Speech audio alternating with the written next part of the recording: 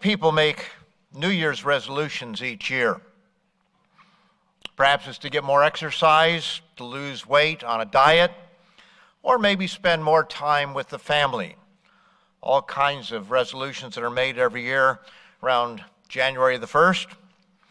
But for us, the sacred year begins here in just a, a few days. Uh, it's 14 days earlier than Passover, obviously. And so that's coming up here very quickly. Now, many New Year's resolutions are joked about, and not taken very seriously. But how many can look back a year later on a resolution that's made, whether it's here in the church by those of us, or January the 1st as the world sees the new year? How many can say that they kept that resolution? No doubt some have succeeded, but my guess is that most fail in their resolutions and they make the same one year after year lose weight, get more exercise, spend more time with the family, or whatever it is that they have. The Passover unleavened bread is a time for self examination for the people of God. We don't normally talk about resolutions, making resolutions, but many of us at that time, as we look at our lives, examine our lives, see that they need to be changed in some way. And so we resolve to make that change. Again, we don't call it a New Year's resolution, but we do resolve, nevertheless, to make some changes in our lives. At least we hope that everyone is doing so. Passover reminds us of our baptismal covenant that we made with God. It reminds us that Jesus Christ had to be crucified, to shed his blood on our behalf if we are to have life. And so when we go into that baptismal tank, whenever that was, not necessarily on the Passover, in fact, almost never on the Passover, but uh, maybe the day just before uh, for some. Nevertheless, we are going uh, into a grave, watery grave. We're picturing the death of our old man and coming up to a new way of life and are reminded of the fact that Jesus Christ had to die to be buried and be resurrected to new life as well. So we picture what he did for us, but we symbolically put to death our old man and come up to a, a new person, a new creation, as it were. And so it's fitting for us to reflect on how we have done over the last year and what we still need to do in order to be more like Christ, allowing Christ to live his life in us, as we read there in Galatians, the second chapter, and verse 20. So, in today's sermon, I encourage you to overcome, at least make a significant amount of progress with one or two sins or weaknesses that you may have, so that when you wake up this time next year, you can look back and say, wow, I finally put that behind me. And I'd like to encourage you to look at the most significant sin or sins and I'm speaking of just one or two here, by focusing your full attention on them. And I'll also review a list of sins or weaknesses to consider. That this is a time of self examination is found in 1 Corinthians 11th chapter. And it is talking about the Passover and he starts out in verse 17 Now, in giving these instructions, I do not praise you, since you come together not for the better, but for the worse. For first of all, when you come together as a church, I hear of there are divisions among you, and in part I believe it. And he talks about that a little bit more. We'll be reading that, uh, no doubt, on the Passover evening and uh, during the days of unleavened bread. So I'll skip over some of this here in 1 Corinthians 11. But let me skip down to verse 26, where it says, For as oft as you eat this bread and drink this cup, you proclaim the Lord's death till he comes. Now, some take that to mean that we should do it as often as we want to, and yet the context of it, this was very clearly during the times of uh, the, the days of unleavened bread, when you see all the references to Passover and unleavened bread through uh, the uh, letter here of 1 Corinthians. But in other words, whenever you do it, which is once a year, which is when it's required to be done and which God wants us to do it and not make it a, a frivolous thing every Sunday or uh, every uh, uh, once a month or once a quarter. But as oft as you eat this bread and drink this cup, you do proclaim the Lord's death till he comes. Therefore, whoever eats this bread or drinks this cup of the Lord in an unworthy manner, the unworthy manner was the fact that they were getting together and some were getting drunk on that occasion, some were gluttons, they were leaving others out. The manner in which they took it was totally inappropriate.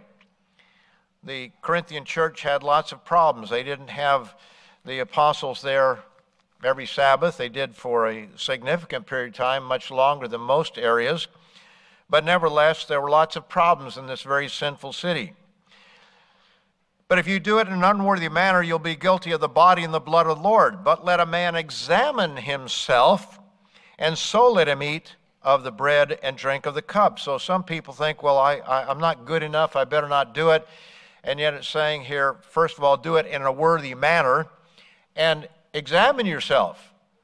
Look at the mirror, so to speak, of who you are and what you are, and recognize your need for a Savior. Recognize the fact that you went into that watery grave and made a covenant with God at a previous time, and now you are striving to overcome and to grow, but we know that we all fall short. We all do from time to time. But let a man examine himself, and so let him eat of the bread and drink of the cup. For he who eats and drinks in an unworthy manner eats and drinks judgment to himself, not discerning the Lord's body, not understanding what that sacrifice is all about. And you can go back to Isaiah, the 53rd chapter. In fact, let's just turn back there. Isaiah 53. And we'll note that the body of Christ was for our healing among other things. In Isaiah 53, this is a prophecy, the whole chapter of what Christ would do at his first coming. And in verse 4, it says, Surely he has borne our griefs. And, well, let me go back to verse 3. It says, He is despised and rejected by men, a man of sorrows and acquainted with grief. And then it says, And he hid, we hid, as it were, our faces from him. He was despised, and we did not esteem him. Surely, verse 4, he has borne our griefs. And the literal word for that is our sicknesses, as most margins will have it, and carried our sorrows, or that is our pains. Yet we esteemed him stricken, smitten, or struck down by God, and afflicted, but he was wounded, he was pierced through for our transgressions.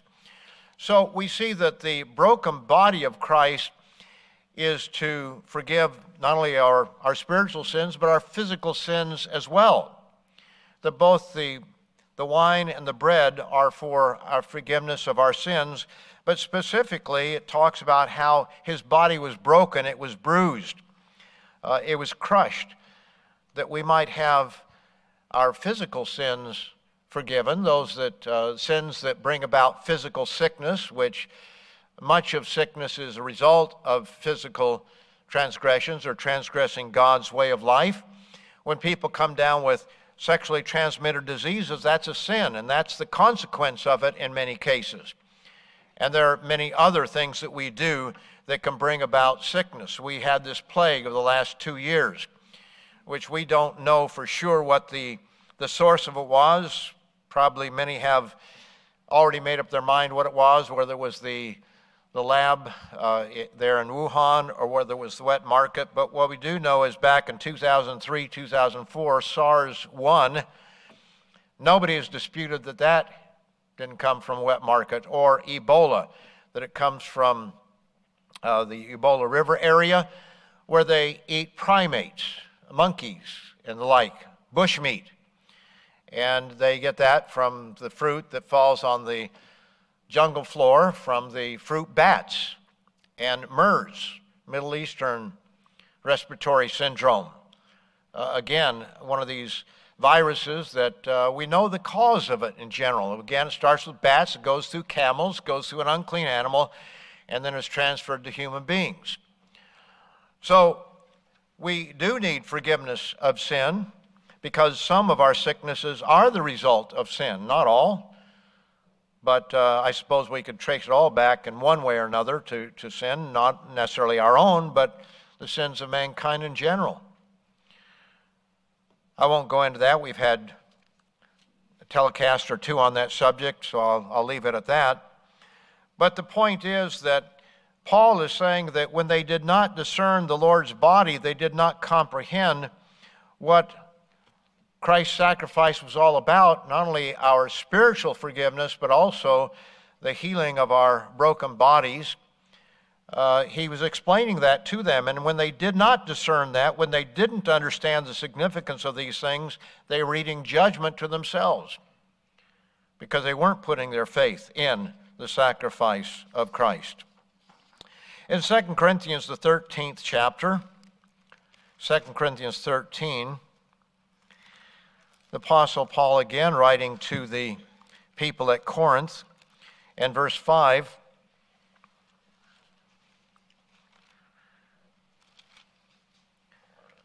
He says, Examine yourselves as to whether you are in the faith.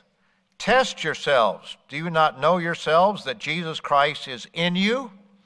Unless indeed you are disqualified uh, we can disqualify ourselves. We know that we are saved by grace through the sacrifice of Christ, but we can disqualify ourselves from that salvation by the things that we do. And the book of Hebrews makes abundantly clear it is not once saved, always saved in the context that this world talks about. That yes, you can fall away, you can turn back and go a different direction. In James, the first chapter, we have the Apostle James, a brother of Christ here, half brother, not the uh, first James, but uh, the brother of Christ, half brother.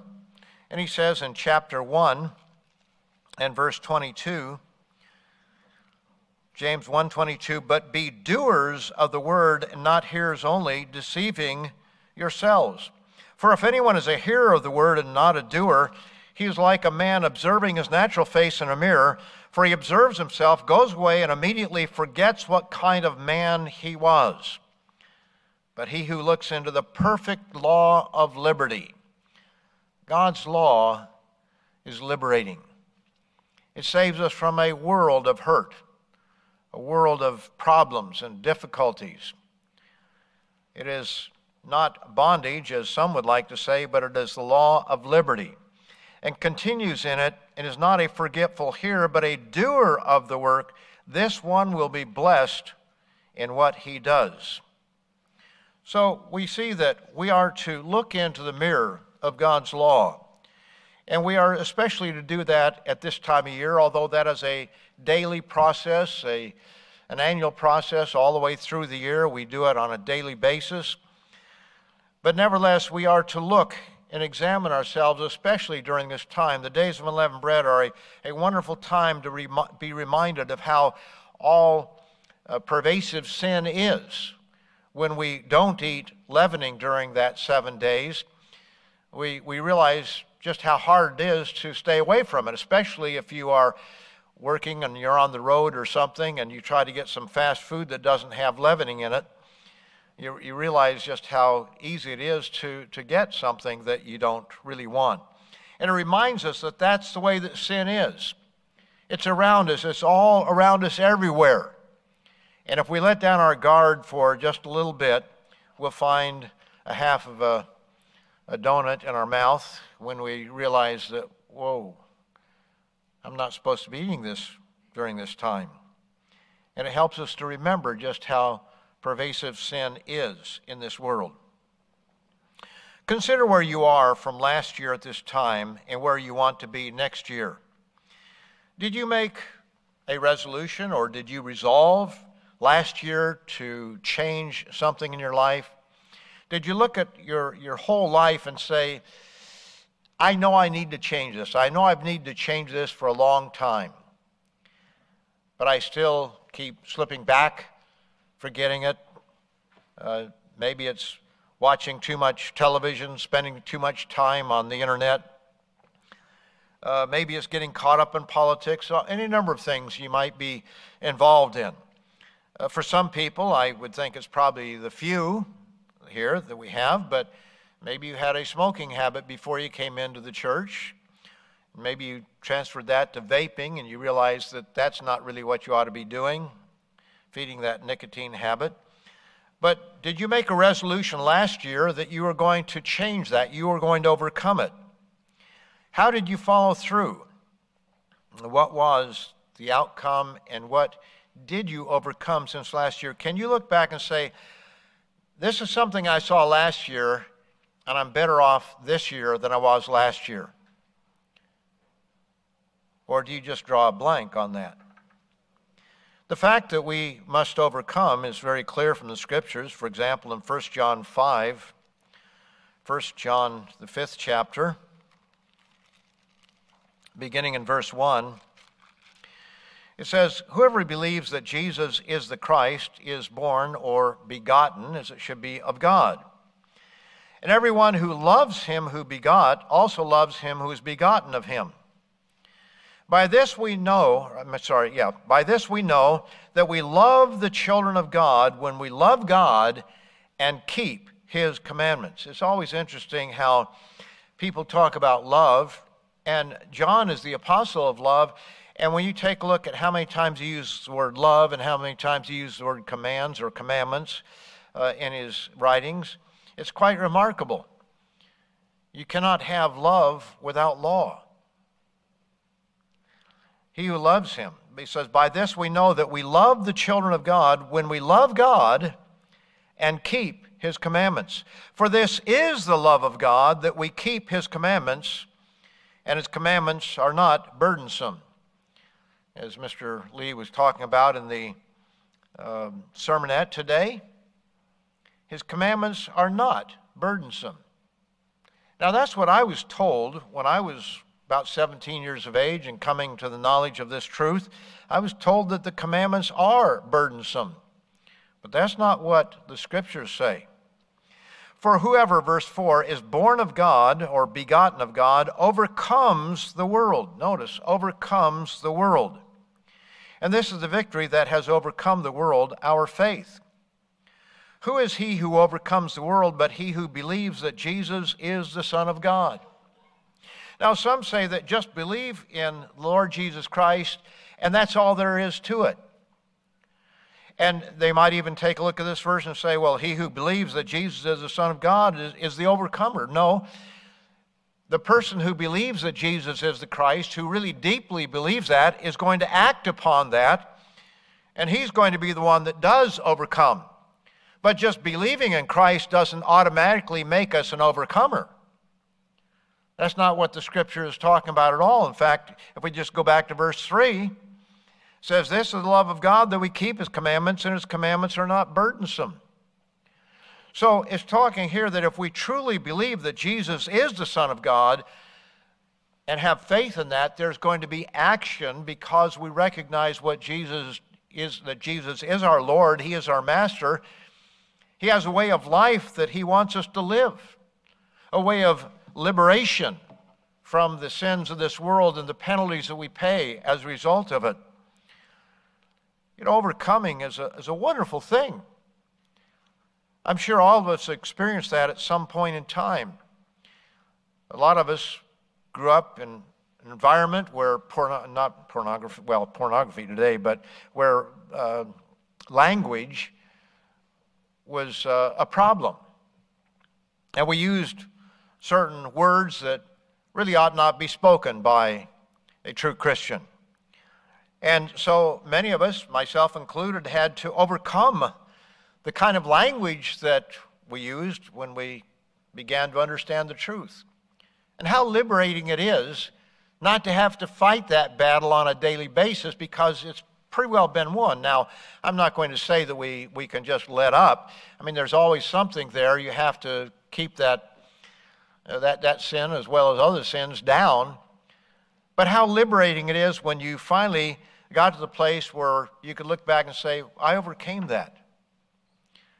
Now, we still you know, have to, to work a little bit at that to make sure we don't slip back into the wrong language, but it's liberating to know that we have overcome that. When it comes to overcoming, we could read Revelation, the second and third chapters. And these are chapters that are so relevant to the whole book of Revelation. They're not an afterthought, they're relevant to the whole book because it is talking to the servants of God. Uh, that's what John was told to do is take the message to the servants of God and in verse 4 of chapter 1, it says, John to the seven churches which are in Asia. These are the servants of God. And you can read the last chapter and see that the servants of God and the churches, these seven churches of Revelation 2 and 3, are synonymous. The servants of God. And people don't realize that because they're looking for the church in the wrong place. If you're looking for the mainstream church out there to fulfill or these prophecies to be fulfilled in the mainstream churches, you're not going to find it. But in the true church of God, down through history, we see these seven different eras or stages that the church would go through. Now, in chapter 2, speaking of the Ephesian era, he says here, Verse 7 He who has an ear, let him hear what the Spirit says of the churches. To him who overcomes, I will give to eat from the tree of life, which is in the midst of the paradise of God. And then, speaking of the Smyrna era, down in verse 11, it says, He who has an ear, let him hear what the Spirit says of the churches. He who overcomes shall not be hurt by the second death. And you can look through all seven of these eras Pergamos, Thyatira, Sardis, Philadelphia, Laodicea, every single one of them, he gives the admonition to overcome.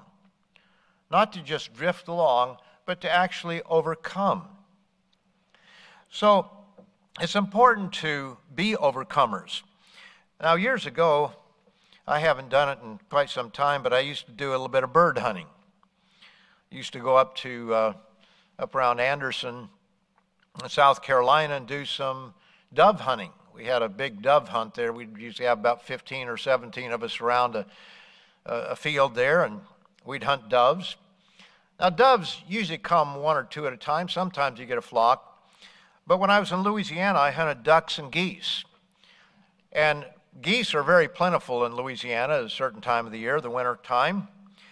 And most of the geese we have around here are in very small flocks. Canada geese are small flocks, but when you get blues and snows, you can have a thousand geese, maybe 10,000. I don't know. I, you know, it's kind of hard to count them when you see them that way. And if you're able to sneak up on them, as I did one time down in a, a ditch in the water, cold water, snuck up and got close enough to them, and you raise up, they all come up at once, and you could be a blind person shooting a 22 and you couldn't get it through them because it's just a cloud of geese. But when they're flying overhead as a flock, one of the things you learn is that you can't just shoot up amongst them. You have to pick out a goose. Now, maybe you'll hear a different one, but it's best to pick out one. Because when you shoot up amongst them, it's amazing. You, you can miss. There's a lot of space around them. And you learn that it's important to focus on a single target. And if you happen to hit that one, then you can focus on a second target and perhaps a third one if you're fairly good. I don't know that I ever got a triple, but uh, sometimes you get a double. But you have to focus on a target because just shooting up amongst them usually doesn't bring one down. You may occasionally do so but it's amazing how much space there is around them. And you know, it's the same way with overcoming. You can say, Well, I'm going to overcome this year, I'm going to be a better person, but if you don't focus on specific items, specific sins or weaknesses that you're going to overcome, and just take a shotgun approach toward it, you come to the next year and you look back and you say, Hmm, well, I know I'm a better person because I've lived another year. But in what way? What way have we overcome? It's always best to focus on a single target. And once you overcome that, you can move to a second one. Now, I'm not saying that you can just focus on one thing and forget about everything else. I think we're, we're all trying to do something every day to be close to God and to obey God. But we all have our weaknesses, don't we? We all have our shortcomings, whatever they might be. And maybe nobody else knows it, but you do. Maybe your wife knows it or your husband knows it.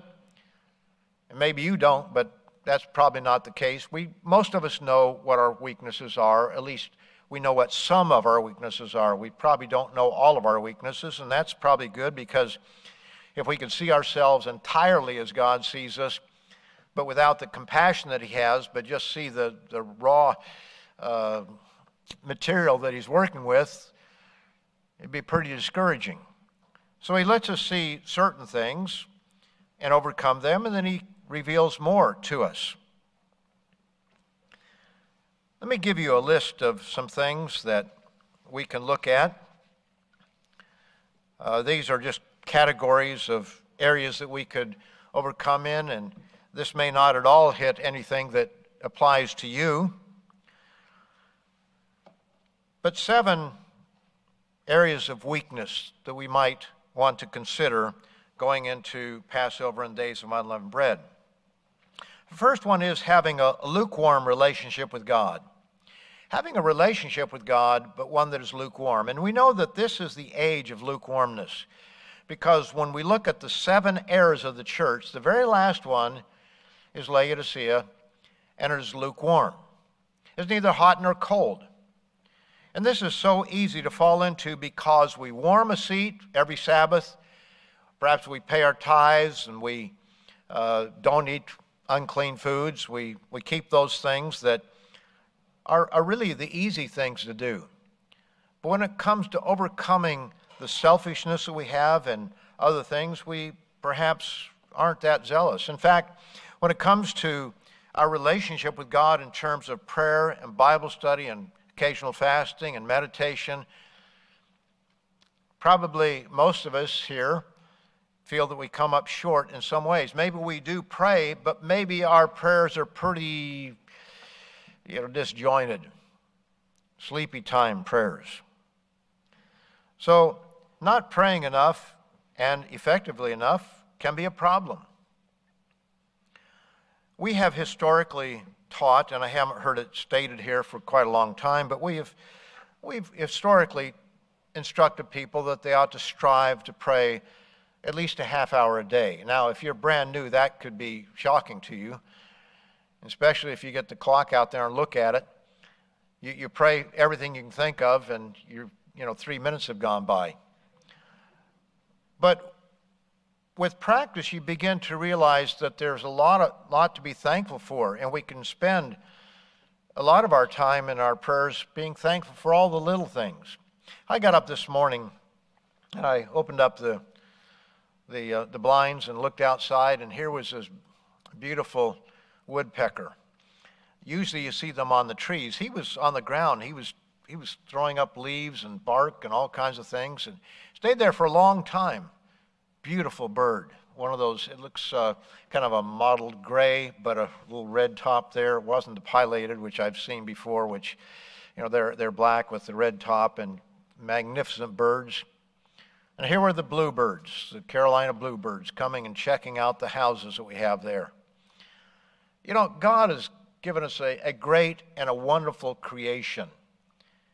And I hope that we're thankful for what God has given to us. We had a a cardinal, a female cardinal, came by uh, this morning as well. There's so much to be thankful for our families, our wives, our husbands, our children. There are so many things. You make your list, but make, be thankful for these things. And you can spend time thanking God and praising God for His greatness. And as most of you know, I, you know, I'm, I'm a real student. Uh, I say student. I, I'm not an expert by any means, but I, I like to read books about evolution because they uh, either promoting it or not, because you better, you know, most of them are the ones that are not promoting it, showing the fallacies and the shortcomings of evolution. And you see how absolutely detailed God made us. And, and you, you look at the cell. We, as one of my favorite quotes there is uh, by Bill Bryson, who uh, points out that you could take all of the brainiest people that have ever lived and all the accumulated knowledge of mankind and put them all together, and they still could not create a single cell, bacterial cell, much less human cell. Because every one of our cells is unbelievably complex with all the proteins that are made up of, you know, many, many uh, amino acids and, and the way that they all work together. It's, it's truly remarkable the way that God has made us. And so there's much that we can be thankful for. David prayed three times a day. Now, I'm not saying that we should get out the clock and, and pray by the clock and, and make another one of those uh, Sabbath, not just Sabbath, but one of those uh, regulations that the Pharisees did that Mr. Lee was speaking of there. But we have recognized that it is important to do more than just a lick and a promise. And it's not a matter of the amount of words, but learning to pray with our heart, being thankful, and making our requests known to God.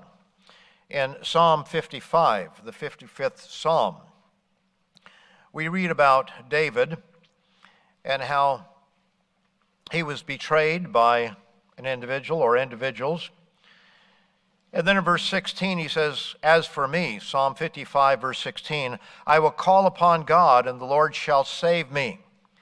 Evening and morning, and at noon I will pray and cry aloud, and he shall hear my voice. So, three times a day, David prayed. In the evening, God begins time in the evening. Sometimes we wait around I, I'm guilty of this. Sometimes we wait around until just before we go to bed to pray. But what's wrong with praying a little bit earlier when our mind is still active and not ready to go to sleep? In the evening, sometime after sunset, have our evening prayers. Our morning prayer before we hit the road and get out there in the world. And at noon, some have work circumstances that do not really permit them to to be alone at noon, and we don't have to get our prayer blanket out there and, and uh, show off to the world. But David said that he prayed evening, morning, and noon. And if you have an office where you have privacy, this is something you certainly can do.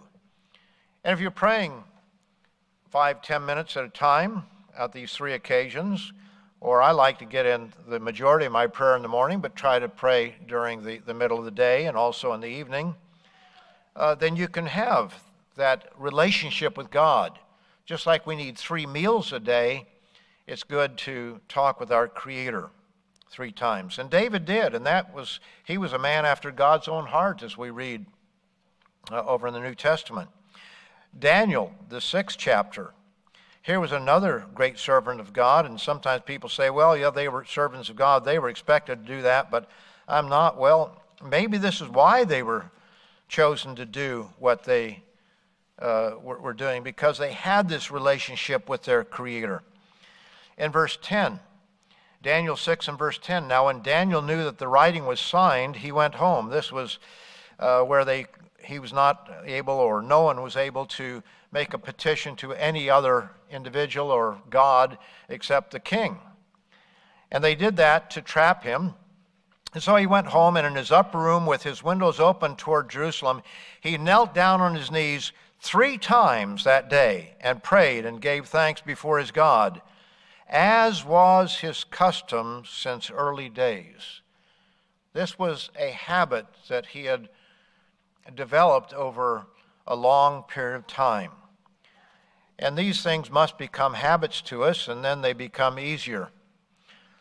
I, will confess that uh, they say what 28 days i think it is i forget exactly if you do something 28 days in a row then it becomes a habit I, I guess i've known for most of my adult life that it's probably a good idea to floss your teeth i brush my teeth but didn't floss my teeth my wife was always very faithful about that Uh, I, am one of those blessed people, something to be thankful for. I don't have a cavity in my, well, I got a cavity here, but uh, don't have a cavity amongst any of my teeth. Now, I did fall out of bed once, and I got hit with a broomstick once playing broom hockey, and so I have a couple teeth in the front that have caps, but you know, I haven't really earlier years, decades, taking care of my teeth, but, but I knew that I should floss my teeth, and so finally, I, I started, and you know, it gets to the place where you just don't feel like you're doing your job if you don't floss them. You don't want to go to bed with anything between your teeth. And so for the last 10 years or so, I've flossed my teeth regularly. And it becomes a habit, and it's not something you have to, quote, work at as much. Yes, you have to be reminded, yes, I need to do that. But it becomes a part of you.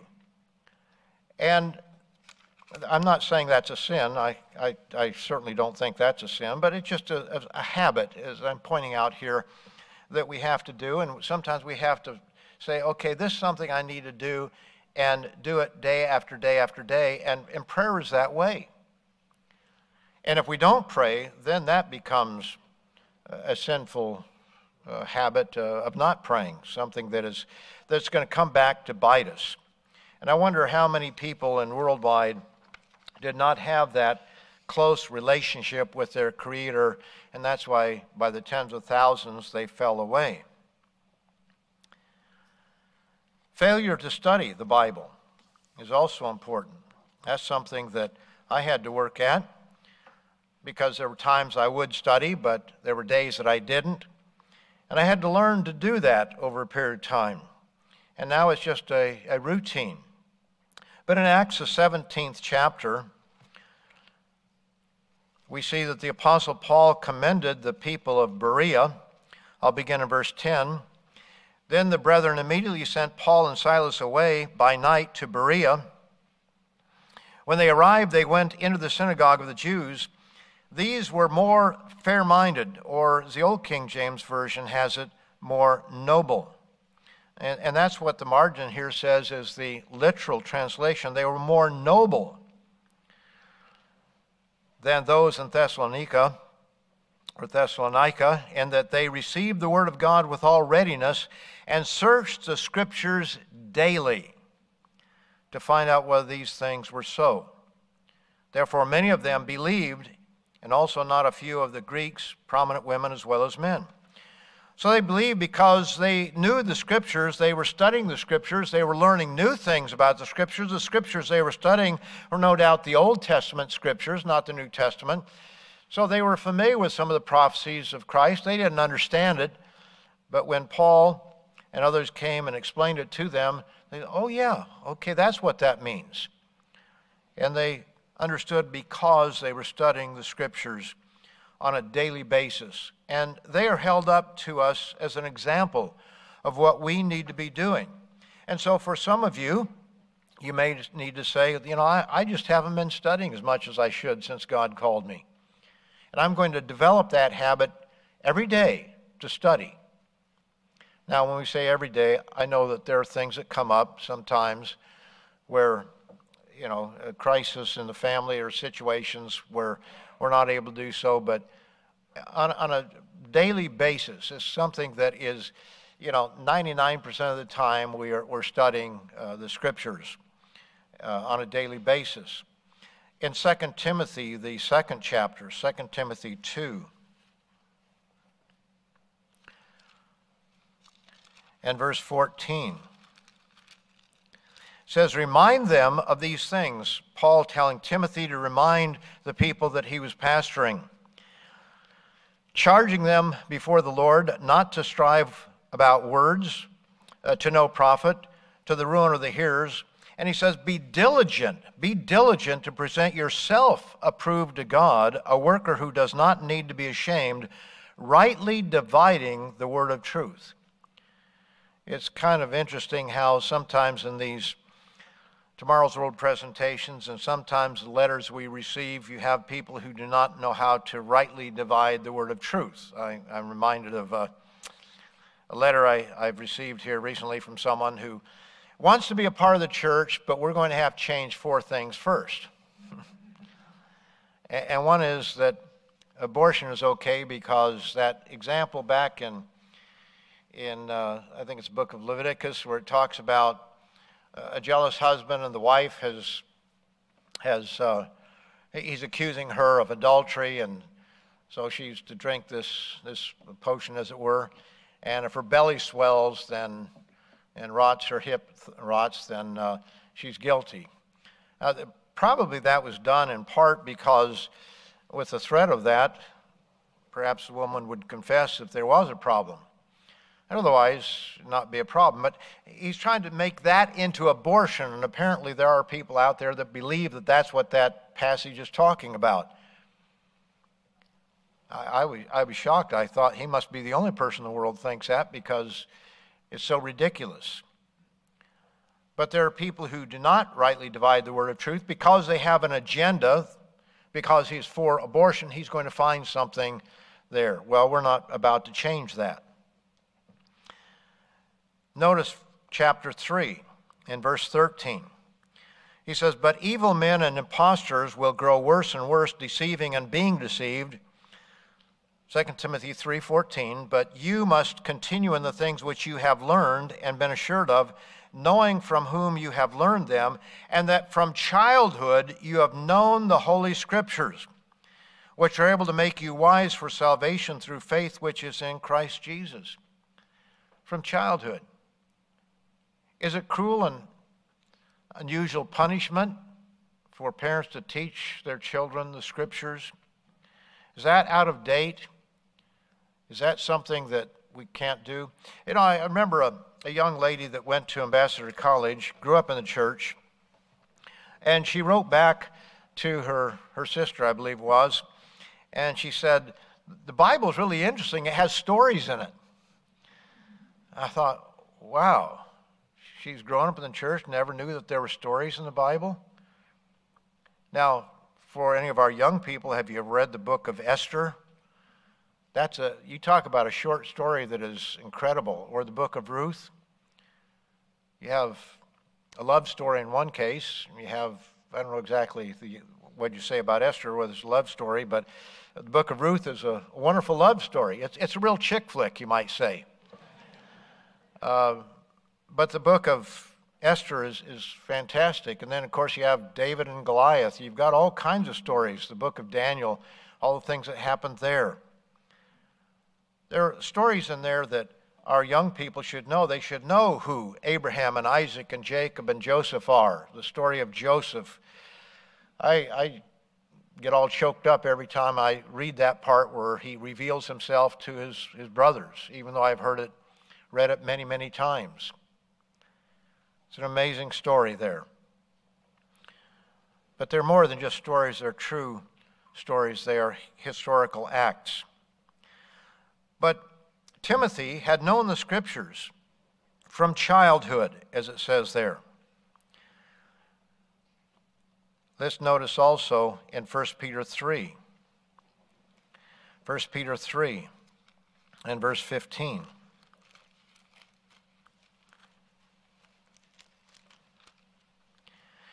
1 Peter 3, verse 15, but sanctify the Lord God in your hearts, and always be ready to give a defense to everyone who asks you a reason for the hope that is in you with meekness and fear. Now, this scripture has been used from time to time by many different people over the years to say that we, we need to be ready to give a defense of everything that, every question that comes up. They don't exactly say it that way, but that's how it seems to be used. And that's true. We, we just read there in 2 Timothy 2 that we are to study to show ourselves approved. But here it's saying that we are to sanctify the Lord God in our hearts and always be ready to give a defense to everyone who asks you a reason for the hope that is in you with meekness and fear. Why are you here?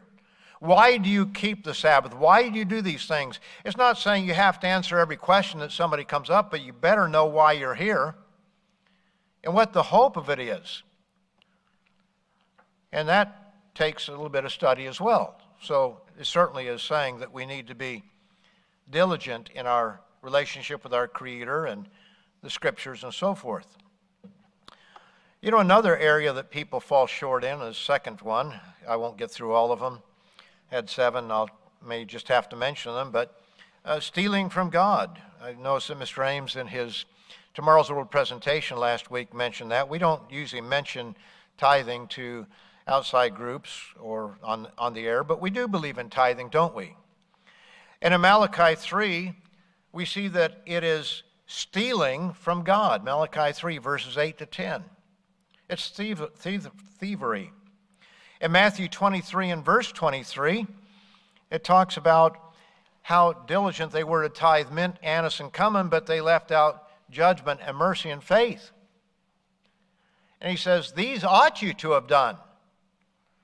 These bigger picture things and not leave the other, the minute tithing. He wasn't talking about tithing in a general sense, but he's talking about tithing mint leaves and anise seeds and, and cumin and so forth.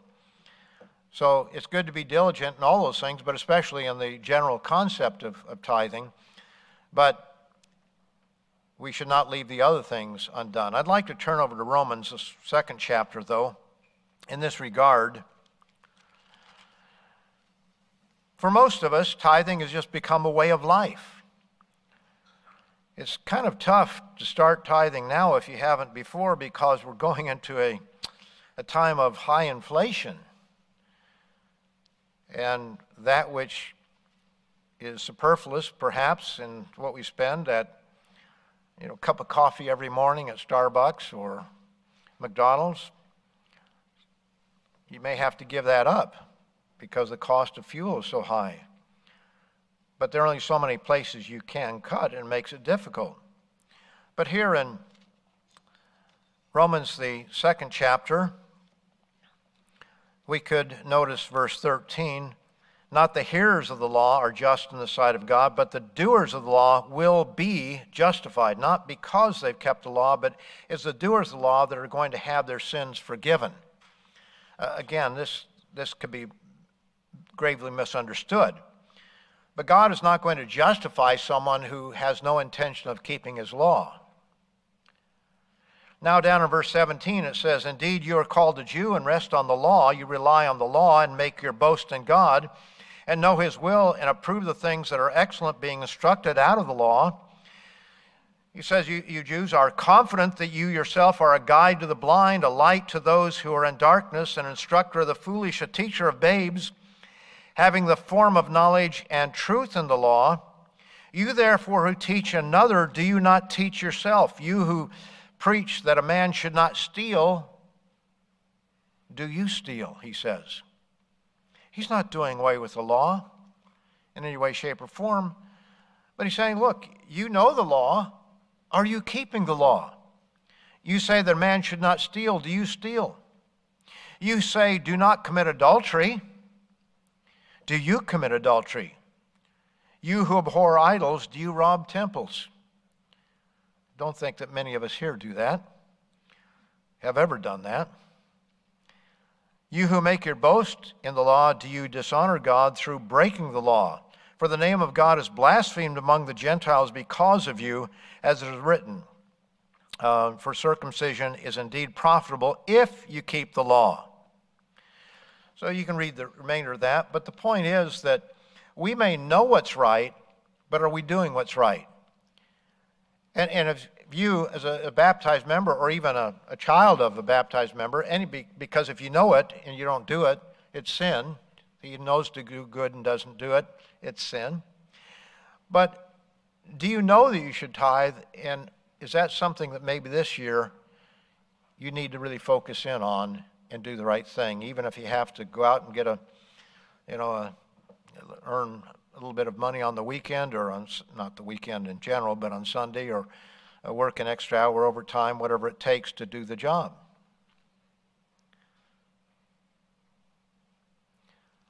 A third area are you wrapped up in the politics of this world? That is something in the last few years that, frankly, many people have gotten all wrapped up in the politics of this world. Let's notice Daniel 4. Daniel 4 and verse 17. This was Nebuchadnezzar's dream, and he says, uh, in regard to that, it says, This decision is the decree of the watchers. This is Daniel 4 17. And the sentence by the word of the holy ones, in order that the living may know that the Most High rules in the kingdom of men, gives it to whomever he will, and sets over it the lowest of men. So when we get wrapped up in politics and we think, oh, this person is the savior of the nation, we're totally off base. God is going to put in office who he wants in office. It sets over it the lowest of men. And have we ever seen that in the last decade or so?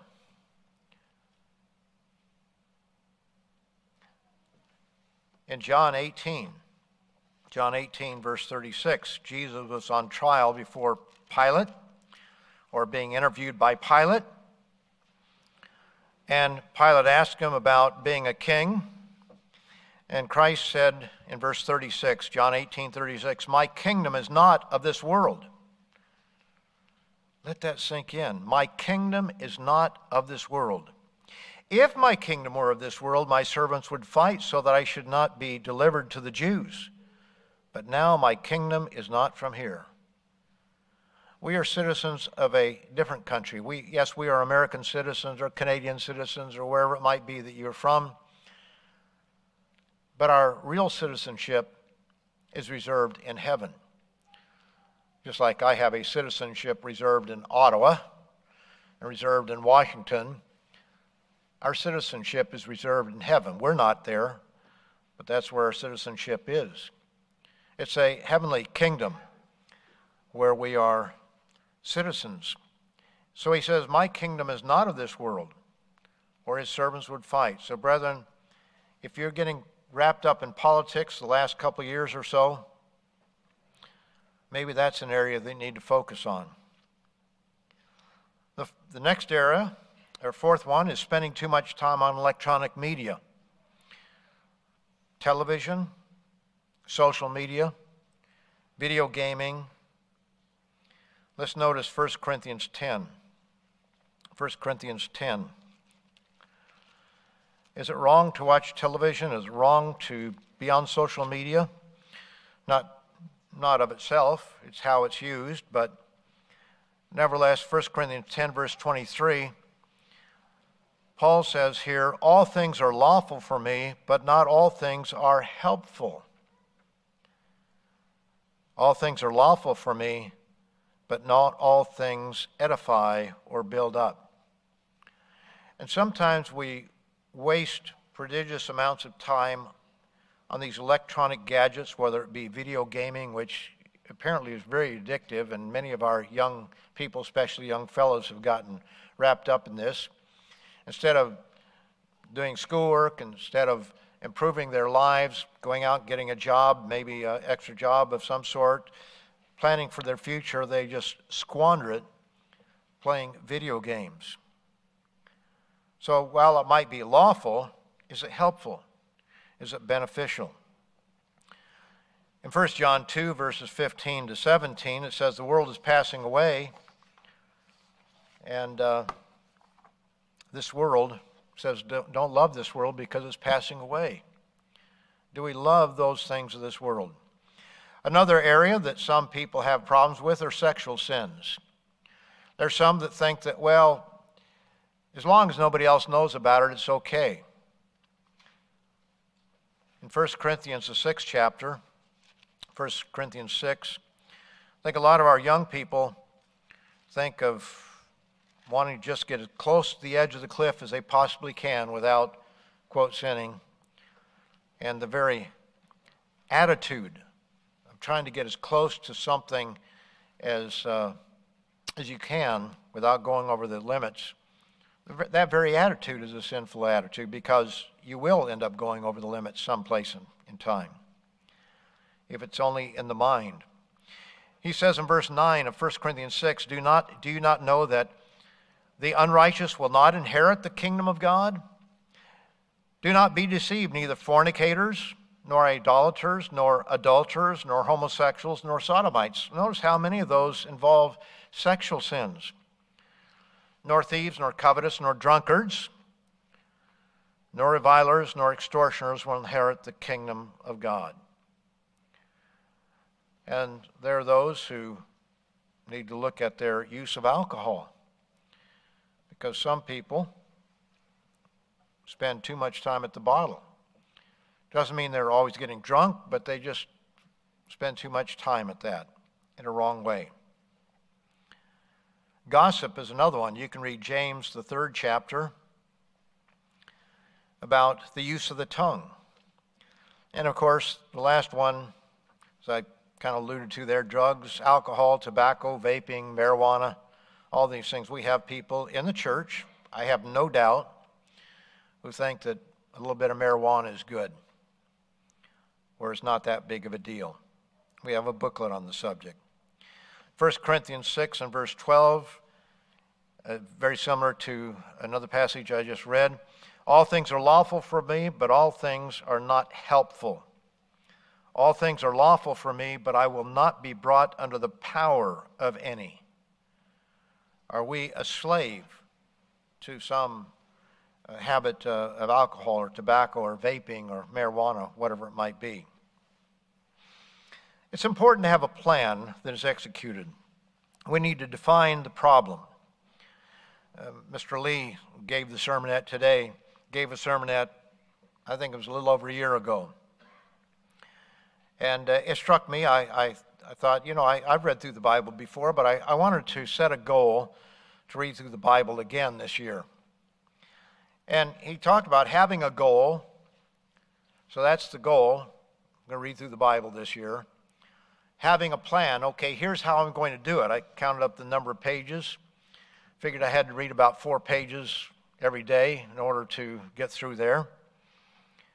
And then from time to time, measure your progress. Good sermonette. We have a lot of good sermonettes, but sometimes certain ones strike us a certain way. But measure the progress. And where are we? Well, I think I'm coming a little bit slow on mine, but I'm somewhere around uh, Ephesians. So I've gotten through, you know, better than that, but I've still got to pick it up a little bit here by Passover if I'm going to finish by Passover. And, if I don't, I'm not going to worry about it. But I, I'd like to come very close to that. At least there was a goal, there was a means of uh, getting there, and you fall behind sometimes because of travel and different things like that. But it's coming up close to the end. It's, it's, it's you know, making progress on something. We need to take everything one day at a time. Whatever it is you're working on, take it one day at a time. Do it today, do it tomorrow, do it the next day, and eventually you'll get there. You need to focus your relationship with God on overcoming the problems that you may have. Mr. Jonathan McNair has a commentary that you can read online. Uh, it's not this week's commentary. It's another. This week it's by Mr. Davy Crockett, and some of you get those automatically. It's talking about uh, baseball, uh, something you heard at a baseball game, and very good commentary. But Jonathan McNair has one called The End of the Beginning. And I won't read the whole thing, but breaking into it, he says, But when Moses was sent by God to the children of Israel, he wasn't sent to rehash the old days. No matter how real their hardships and their descent into hard times were, all that was only a prelude to something else. They were at the end of the beginning, the beginning of a new start in a new land, a land flowing with milk and honey. It would be a new day, with a God who would lead them out of the old days with dramatic miracles and words of life. It was only the end of the beginning. And that is where the future comes in. Christians are told by Paul that we are to become a new creation, a new person from what each of us once was. You can read that, by the way, in Ephesians 4 verses 22 to 24, and there's also a reference in Colossians to being a new man, a new person. He says that new beginning can start every year. In fact, it can start every day. Today, this morning, right now, you and I don't have to be controlled by the past. We can control what we become in spite of what we've been and even because of what we've learned. With God's forgiveness and His strength, we can assess this day and the challenges it brings, make good decisions as to what to do and how to do it. We may have old challenges that face us, challenges that were the same as yesterday, but the way we handle them can be better. Everything that has happened to us is for our learning and training and for the development of wisdom and understanding. So, what he's saying is it doesn't matter what happened yesterday, this is a new day. Change what you can today. You know, there's a great reward in overcoming. Think about how good you feel when you overcome something. Some of you had the habit of smoking or using drugs of some sort, illegal drugs. Some of you have had that habit, I suppose, I, at least smoking. I know that there have to be people here that had that problem. How good it feels to overcome it. And, and maybe the problem is gossip. You just love to gossip. It, it, it's a habit. It is, it is an addiction. And that's one of the lessons of the days of unleavened bread is that sin is addictive. Sin is bondage. And to be free from that bondage. Overcoming is not a bad thing, it's a wonderful thing. And when you do make progress, how wonderful it does feel. And how the guilt is no longer there. And you feel good about things. And when we overcome sin, life is going to be better. Mr. McNair, in his commentary, quotes from Proverbs 2, verses 10 to 12. It says, When wisdom enters your heart and knowledge is pleasant to your soul, discretion will preserve you, understanding will keep you to deliver you from the way of evil. It will deliver you from the way of evil and all the penalties that come with evil. I'd like to finish with Matthew, the 11th chapter, and verse 29. Matthew 11, 29 and 30. It says, Take my yoke. This is Jesus speaking. Well, back verse 28. Come to me, all you who, are, who labor and are heavy laden, and I will give you rest. Take my yoke upon you and learn from me for I am gentle and lowly in heart, and you will find rest for your souls. For my yoke, that is Christ's yoke, is easy, and my, that's Christ's burden, is light. So, brethren, let's become overcomers. Let's resolve this year, as we approach Passover and the days of unleavened bread, to be overcomers.